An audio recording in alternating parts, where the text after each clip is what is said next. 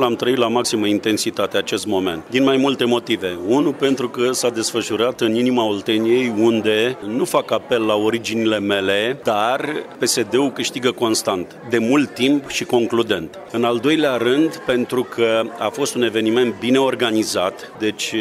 craiovenii s-au întrecut pe ei, dolgenii s-au întrecut pe ei, o organizație care merită, care a fost pe locul 2 pe țară, ca și procent, ca și rezultat la alegerile europarlamentare și și în al treilea rând pentru că în sfârșit suntem primul partid sau dacă vreți alianță politică care în momentul de față are un candidat la președinție. E vorba de Victor Ponta, un Victor Ponta care l-ați văzut nu că îi lipseau cizmele, dar chiar venea din mijlocul oamenilor, un Victor Ponta racordat la problemele pe care le are România în acest moment, un Victor Ponta care are niște realizări guvernamentale nu cât și-ar fi dorit poporul român, pentru că avem de recuperat cel puțin 10 ani, dacă nu mai mulți, de perioadă Băsescu în România, dar care, iată, a reușit să reîntregească salariile și pensiile, acum reduce și CAS-ul. Vorbim, dacă vreți, și despre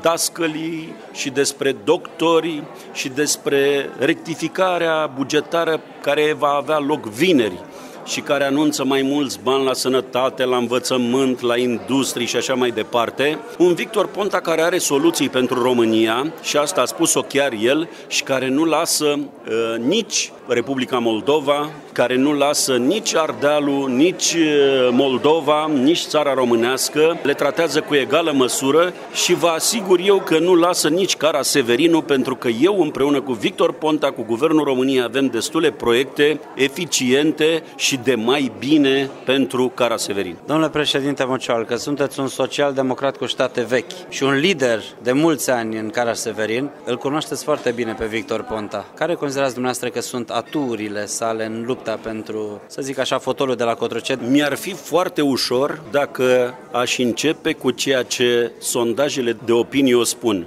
nu în procente, dar românii doresc